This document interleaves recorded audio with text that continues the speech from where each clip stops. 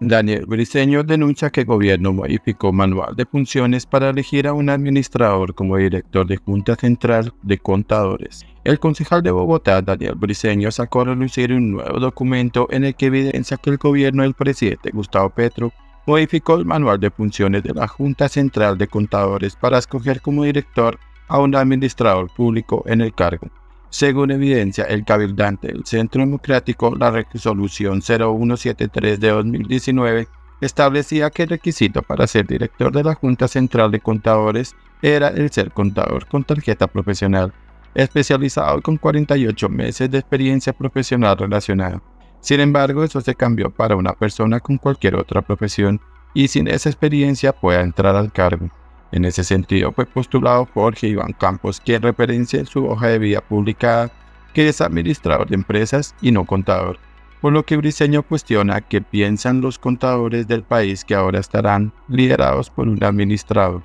La resolución de 0036 establece que se trata de un nivel directivo en el que su jefe inmediato es el presidente de la República y tiene como funciones organizar y dirigir los proyectos de la Unidad Administrativa Especial de la Junta Central de Contadores, entre ellas funciones de inspección y vigilancia de la profesión contable del país, actuando como tribunal disciplinario.